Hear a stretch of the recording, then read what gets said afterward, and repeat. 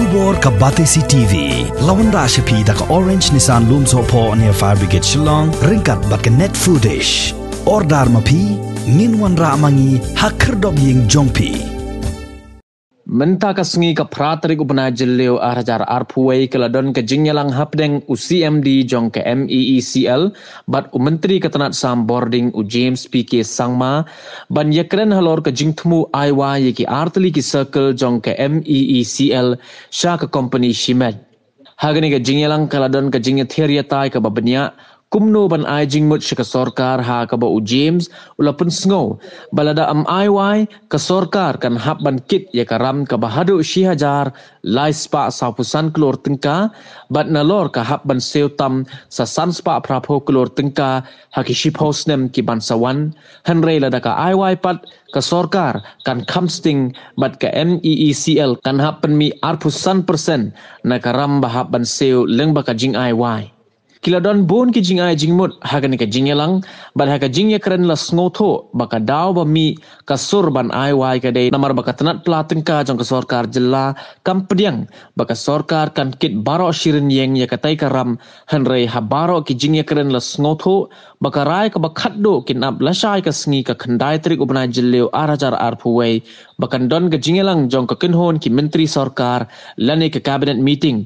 Bakin shim ya ka rai ka bakhat do As we are all aware, we are all conversant with the fact that uh, uh, Meghalaya has been facing a lot of issues regarding the outstanding dues uh, which uh, are towards the, the central power generating stations, the central power transmission uh, co- companies.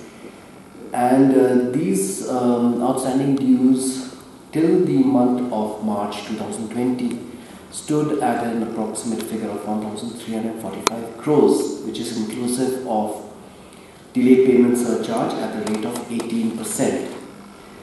Uh, because of these outstanding dues um, and uh, because of the fact that uh, many of these central power generating stations and these transmission companies were also facing a lot of financial stress.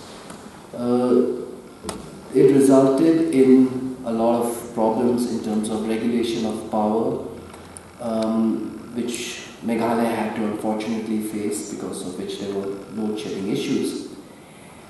And um, at that point of time, the government of India came out with the Atmanirbhar loan, and uh, this was a special one-time assistance loan assistance which was offered by the government of India for distribution companies which had huge outstanding dues to these uh, uh, central power generating and central power transmission companies. As we all know, that uh, Meghalaya as a state uh, was among the northeastern states the highest uh, defaulter in terms of outstanding dues to these central uh, power uh, generating and transmission companies. And um, when the Atmanirbhar loan came, it offered an opportunity to government of Meghalaya, to the DISCOM, to avail this loan at 9.5% rate of interest with a three-year moratorium on the principal amount. And uh, this is, was a very good opportunity whereby we could um, not just uh, we, uh, we could just clear off all our outstanding dues, but also clear them off at a very nominal rate of interest, which is at 9.5%, compared to the kind of delayed payment charges at a rate of 18% that we were paying the, uh, the uh, generating companies.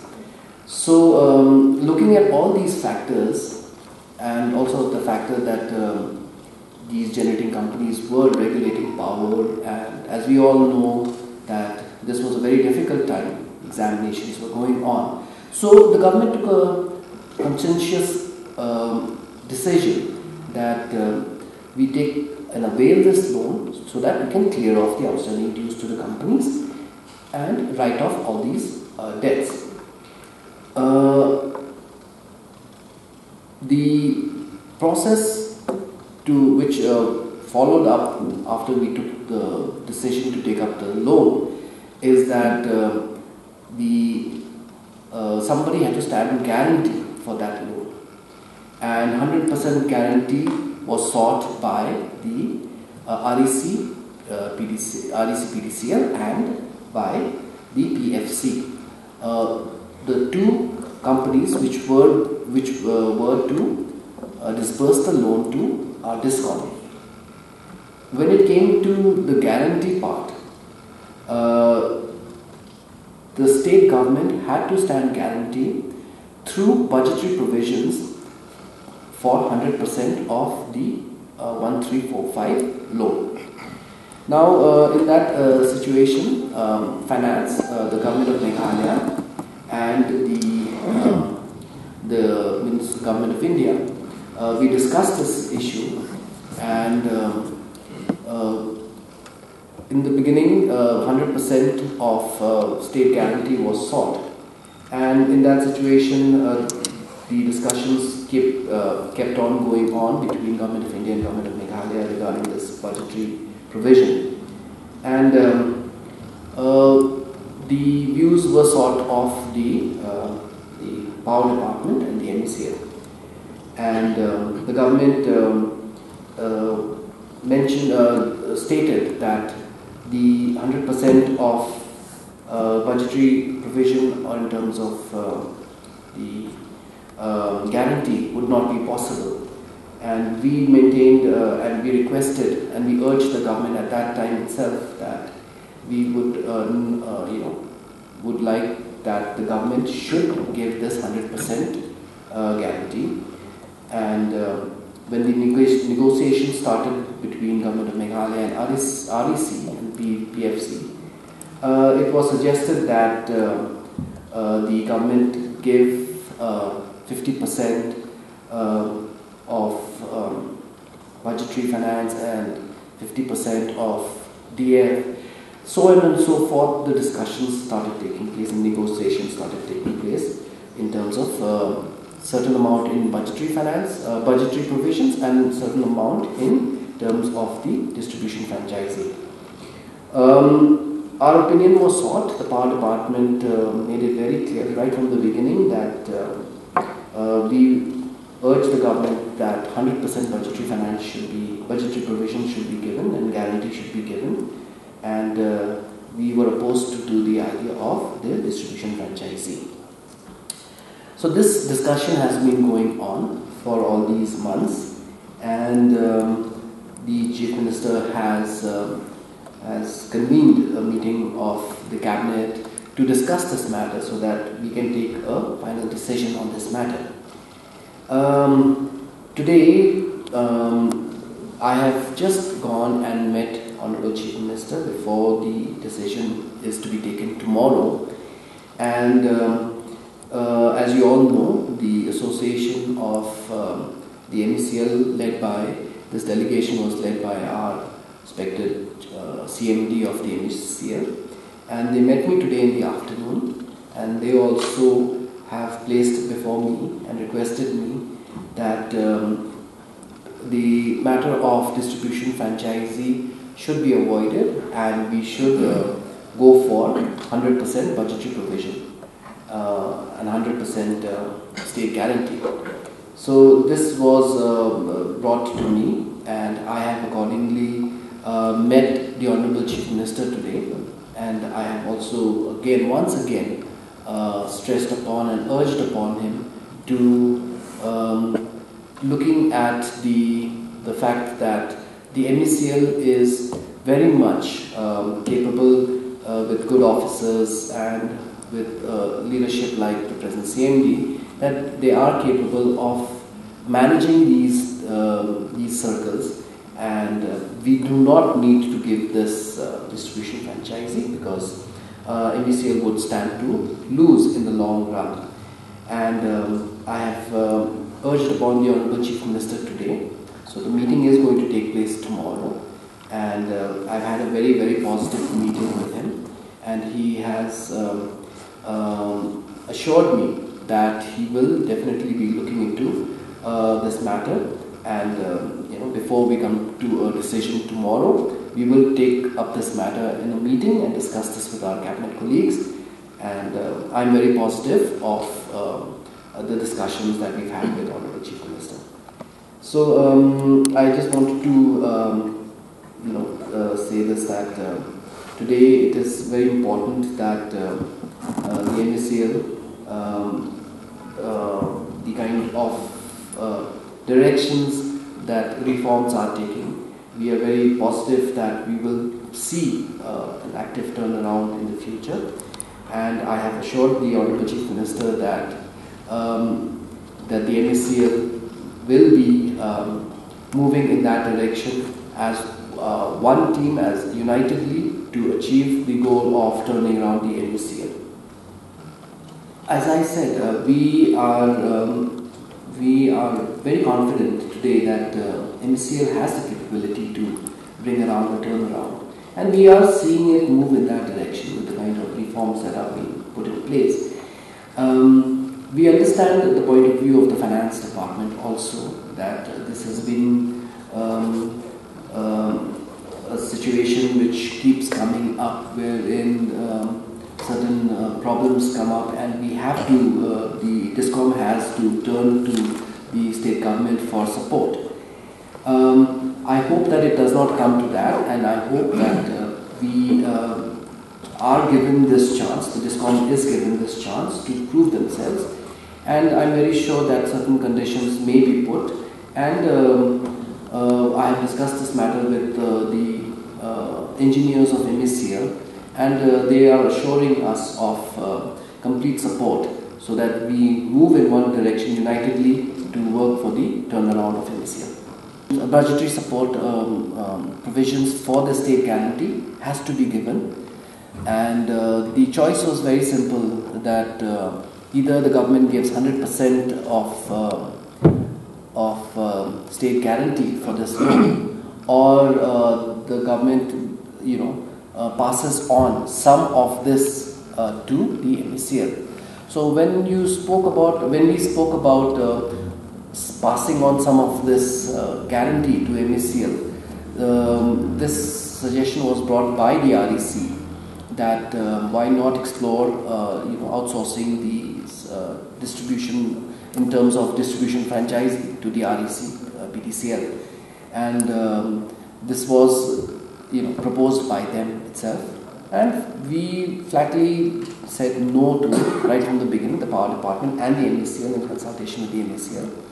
But uh, this is something that's been going uh, to and fro and um, this has been uh, lingering for quite some time. But today we've again, once again, requested the Chief Minister to uh, put a stop to this and, um, you know, uh, and to make sure that uh, the government gives that 100% state guarantee about whose idea was, this, was it to outsource uh, distribution circles. So uh, the genesis of this pre-condition came about looking at the financial situation of MeECL. MeECL's annual revenue is around 900 crore, whereas our loan itself is 1345 crore. So REC felt that, REC, PFC and MOP, they felt that we are not in a position to re, uh, repay the loans, service the debt. So that's why they put this additional conditionality of 25% distribution franchising.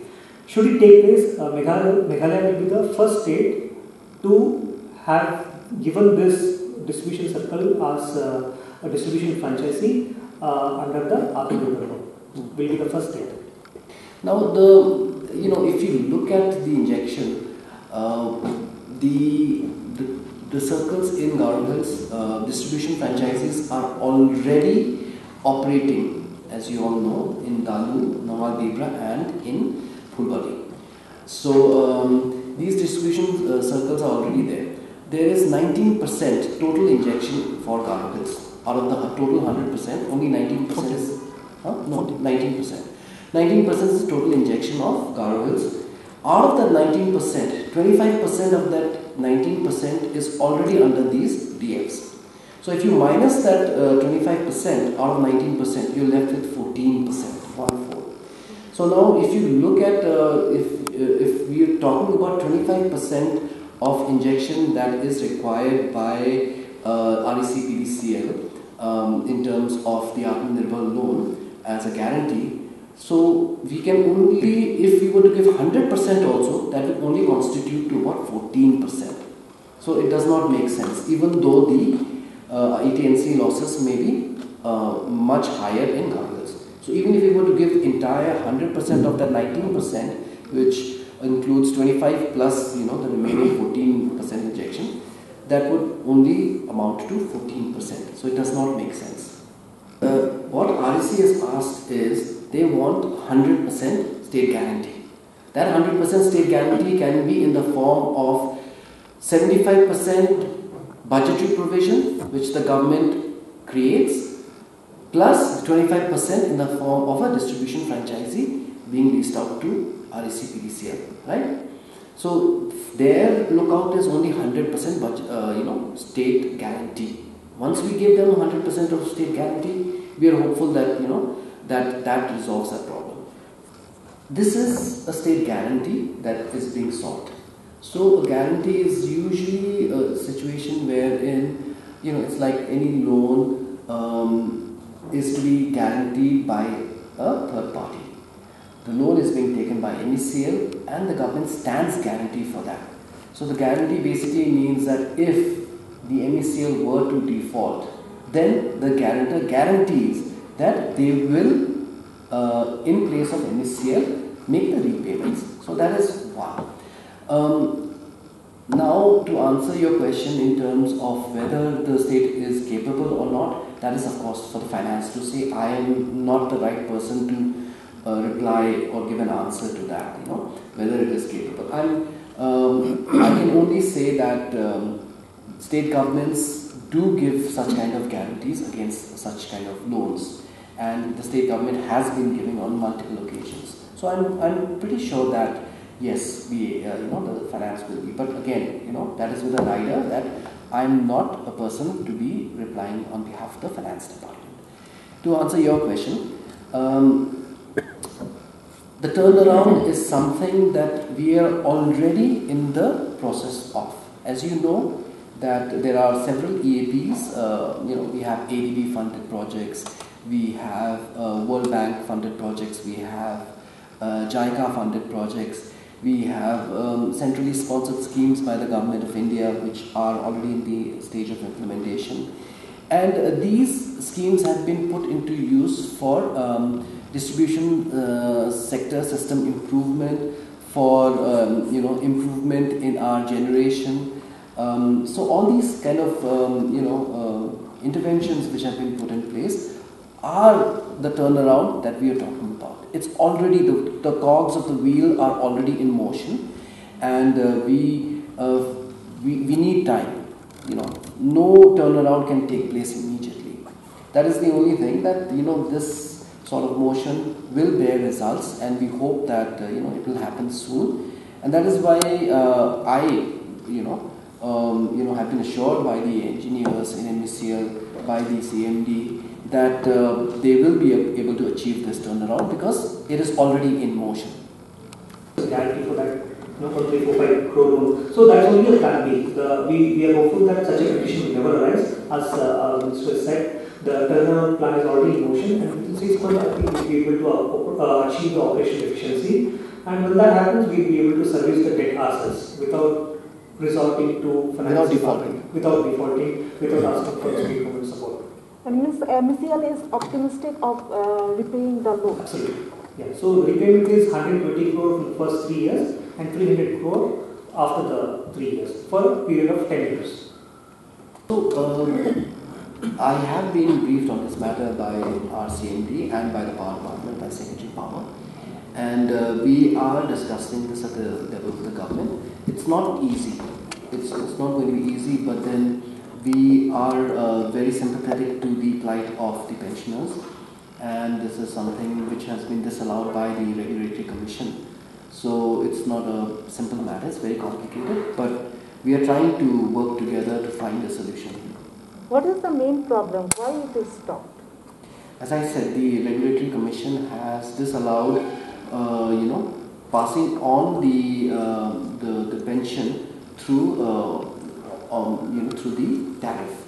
So the pension cannot be passed on through the tariff. So that uh, earlier that is what used to be uh, you know practice, but now because of this, um, uh, it has complicated the situation. Will they be getting pensions? That's what we are in the process of discussion, and we are trying to find a solution to this. It's not easy, but we are trying.